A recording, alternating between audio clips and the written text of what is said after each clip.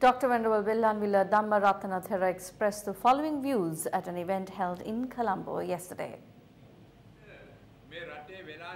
The biggest tragedy that has befallen on our nation is that the people who should listen to the voice of the people of this country have gone deaf. This shows that the leaders do not care even if our country collapses. They do not find solutions to the problems at hand. Instead, they prolong solving it. The Parliament Select Committee is the best example for this. The leaders of this country are prolonging solving this problem, hoping that the people of this country will forget everything that happened. This is only going to divide this country further and drag us down. The Thero also expressed his views on the failure to punish perpetrators involved in fraud and corruption over the past years.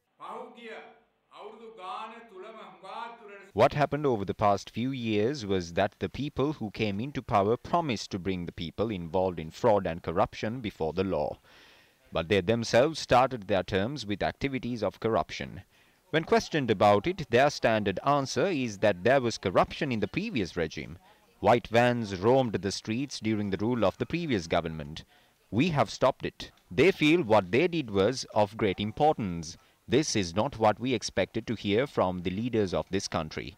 If they came into power, they need to execute their duties at hand. They need to serve the people. They need to be ashamed of themselves to come before the people of this country and the media and excuse their actions, saying that even the previous regime was corrupt. They came into power promising to bring the people involved in fraud and corruption before the law.